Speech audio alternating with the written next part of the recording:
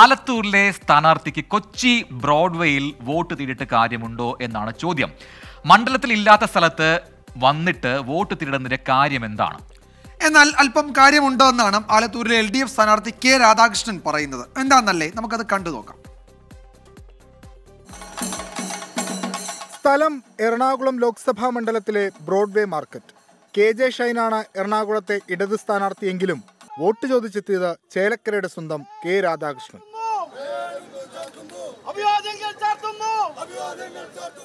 പോലീസുകാർക്ക് എന്താ ഈ വീട്ടിൽ കാര്യമെന്ന ചോദ്യത്തിന് ഒരു ഒറ്റ മറുപടിയേ ഉള്ളൂ.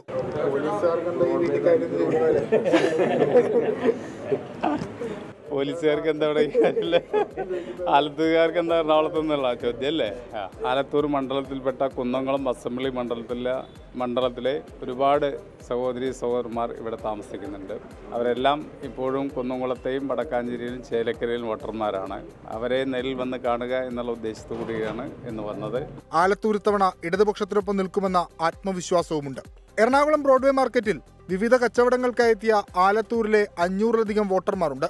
ഇവരുടെ നേതൃത്വത്തിലാണ് തെരഞ്ഞെടുപ്പ് പ്രചാരണ പരിപാടി സംഘടിപ്പിച്ചത്. അപ്പം ഞങ്ങളുടെ ഒരു ആഗ്രഹമാണ് ഇവിടെ കൊണ്ടുവരണം സ്ഥാനാർത്ഥിനെ വോട്ട് നമ്മൾ അവിടെ ബൂത്തിൽ രേഖപ്പെടുത്തണം വിജയിപ്പിച്ചിരിക്കണം ഇത് ആയിരം പേരാളുണ്ടാവും ഏകദേശം ഒരു ലെംസ് ഒരു ആയിരം ആളുണ്ടാവും എല്ലാ വർഷവും നിങ്ങൾ എല്ലാ വർഷവും കൊണ്ടുവരുന്നുണ്ട് ഏത് സ്ഥാനാർത്ഥി കൊണ്ടുവന്നാലും കൊണ്ടുവരുന്നുണ്ട് ഇരുപത്തിയാറിന് ആലത്തൂരിലെ പോളിംഗ് ബൂത്തിലേക്ക് എത്താൻ എറണാകുളത്ത് നിന്ന് പ്രത്യേക വാഹന സൗകര്യങ്ങൾ ഉൾപ്പെടെ ക്രമപ്പെടുത്തിയിട്ടുണ്ട്.